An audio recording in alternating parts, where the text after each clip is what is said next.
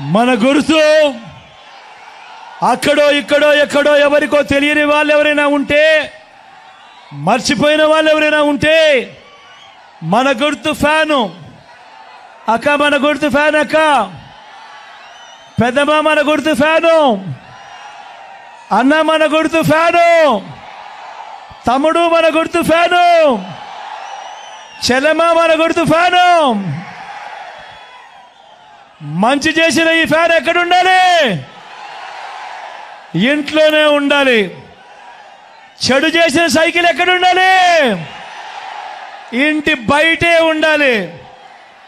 తాగేసిన tea glass ఎక్కడ ఉండాలి సింక్లోనే ఉండాలి. ఈ విషయాలన్నీ కూడా ప్రతి ఒక్కరూ కూడా గుర్తు పెట్టుకోమని కోరుతా ఉన్నా.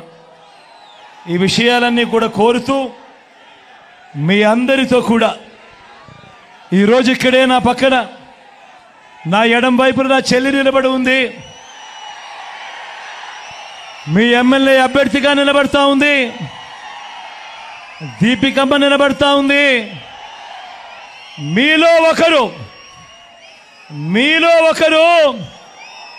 బీసీ కులాలకు సంబంధించిన మీలో ఒకరు. నేను అందుకే చెప్తా ఉన్నా. దీపికమ్మకు మీరు ఓటేసి గెలిపించుకుంటే మీ దగ్గరే ఇక్కడే మీతోనే ఉంటుంది. దీపికమ్మని నేను ముందర పెట్టి ఇంకా చాలా మంచి చేయిస్తాను. మీ అందరి చల్లని దీవెనలు ఆశీస్సులు దీపికమ్మపై ఉంచవలసిందిగా సవినయంగా మీ అందరితో కూడా మనవ చేస్తా ఉన్నా. అదేవిధంగా నా ఇంకొక చెల్లి నా పక్కనే ఉంది. శాంతమ్మ తాను కూడా వెన్నలాంటి మనసున్న నా చెల్లెలు అన్ని రకాలుగా కూడా మీకు మంచి చేస్తుంది.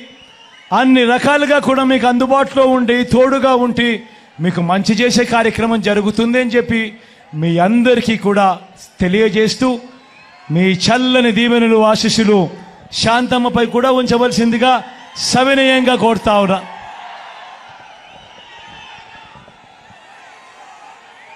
ఇంత ఎడ్డలో కూడా చిక్కటి చిరునవ్వులే చూపిస్తా ఉన్నా.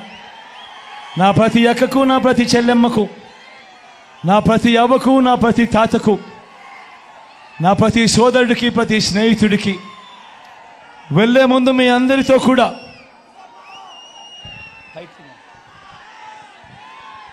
వెళ్ళే ముందు మీ అందరితో కూడా ఒక్క చిన్న విషయం మీ అందరితో కూడా పంచుకొని ఆ తర్వాత వెళుతా ఈరోజు నేను మీ అందరికీ కూడా ఈ విషయం ఎందుకు చెప్తా ఉన్నాను అని అంటే రాజకీయాలు దిగజారిపోయాయి. నిజంగా మీరంతా కూడా చూస్తూనే ఉన్నారు. ఏ రకంగా అబద్ధాలు చెప్తా ఉన్నారు ఏ రకంగా మోసాలు చేస్తూ ఉన్నారు ఏ రకంగా కుట్రలు చేస్తూ ఉన్నారు అని మీరే అందరికి మీరే ప్రతిరోజు మీరు చూస్తూ ఉన్నారు. మొన్నటికి మొన్న వీళ్ళే అవ్వాతాతలకు ఇంటికే వచ్చే పెన్షన్ను అడ్డుకున్నది వీళ్ళే. ఇదే చంద్రబాబు నాయుడు గారికి సంబంధించిన మనిషి నిమ్మగడ్డ రమేష్ అనే వ్యక్తి కేంద్ర ఎన్నికల కమిషన్కు ఆయనే లెటర్ రాశాడు. రాసి వాలంటీర్లు ఇంటికి రాకూడదు వాలంటీర్లు ఇంటికి పో అని వీళ్ళంతటి వీళ్ళని అద్దుకొని అవ్వ తాతలకు ఇంటికే వచ్చే పెన్షన్ రాకుండా చేశారు వీళ్ళు. ఆ తర్వాత అవ్వ తాతలు పడిన అవస్థలు చూసి ఆ అవ్వ తాతలు చంద్రబాబు నాయుడు గారిని తిట్టిన తిట్టు తిట్టకుండా తిడుతూ పోతే మళ్ళీ ఆ నెపాన్ని కూడా మీ బిడ్డ మీదనే వేస్తే భయంకరమైన అబద్ధాలు ఈరోజు మనం చూస్తూ ఉన్నాం.